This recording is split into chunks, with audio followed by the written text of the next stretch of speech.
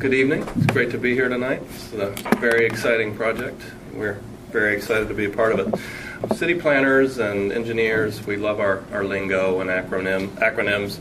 And one of those is a complete street, shared streets, context sensitive streets. What do we mean by a complete street? A complete street is a street that attempts to meet the needs of all of its users with, with appropriate facilities uh, for those various modes. So it means a street that has, from a pedestrian standpoint, adequate, adequate sidewalks, adequate crosswalks, it feels safe. For transit, it could mean dedicated bus lanes, it could mean extensions at bus stops to allow the buses to not have to pull so far over to the curb. For cars, it hopefully means uh, not making traffic worse.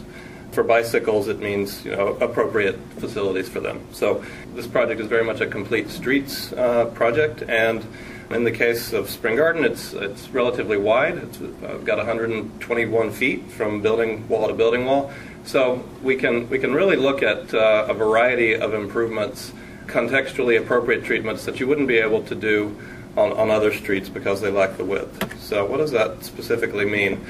we, we, think of the Greenway project as a as a catalyst for uh, for other improvements, um, you know, centered around stormwater management, community revitalization, and improving uh, the situation for cyclists. More specifically, so the designs will include uh, protected bike lanes of, of some sort, which we are in the design process, and that protection could be in the form of a landscape buffer, uh, which you see here and here or it could be in the form of uh, parking protected bike lanes, where parking is pulled uh, off the curb at, su- at, a sufficient distance to create bike space. So that's the complete streets perspective for, for, for the cyclist. Stormwater. Spring Garden is at the top of the uh, stormwater shed, essentially. So this means that uh, all the stormwater in this area essentially flowing downhill or to the south from Spring Garden. And that's a great opportunity for us to come in with with improvements from a stormwater perspective to, to filter and retain the stormwater before it goes further downstream in the stormwater system, and other as other projects, you know, to the south can do similar things. And this, it's a great starting point to be at the, the top of the, the storm shed. So whatever Spring Garden is sending downstream is, is better than it would be otherwise. Um, in terms of specific treatments, really neat things like rain gardens and bioswales and por- porous pa- pavement, where uh, the water is, is diverted into these spaces and uh, infiltrates uh, slowly back into the ground. The intention is to ca- capture the, the, first one to two inches of, of, rainfall and treat and retain that before it uh, moves into the stormwater system. Uh, other improvements for other users of the streets, other modes, uh, we'll be looking at uh, improvements for, for buses and certainly pedestrian improvements as well. And related to that are a variety of, of other amenities um, that, that should certainly overall uh, enhance the street and, and tie back to that community revitalization goal. As many of you may know, this is not the first planning project to look at the street.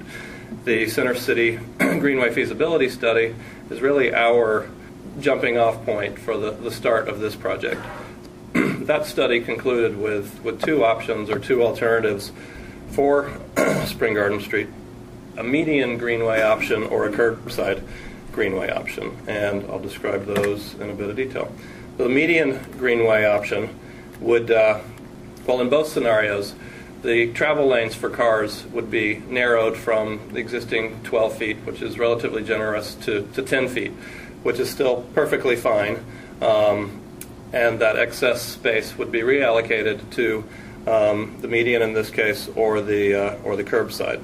So the way this would work, it would alternate, uh, and in some ways, it's it's very much a reflection of. Uh, the function of the street today, particularly at the western end, where you have alternating landscaped medians with uh, turn lanes and concrete medians. But those spaces would be those spaces would be expanded uh, by taking the space again from the wide travel lanes and the bike lanes, which would be reallocated to, to the median. Uh, here you see the uh, the section for uh, the, the, the, the right hand plan view, where the median is uh, uh, where the where the bike space is in the center of the median. uh, with edged by landscaping. And this would be a relatively uh, generous space, about 30 feet wide. Um, looking at the section for the left side of the plan view, uh, this would be um, alternating uh, a bike space and uh, left turn lanes. So again, it would be th- this this option is um, alternating. Well, actually, there we go. So here's um, some existing uh, median greenways um, that have a lot of similarities to how it could look on Spring Garden.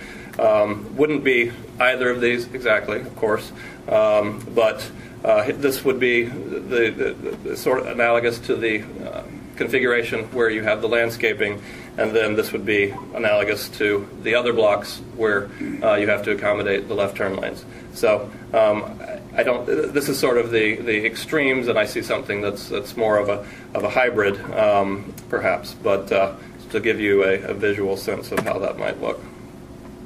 The curbside greenway.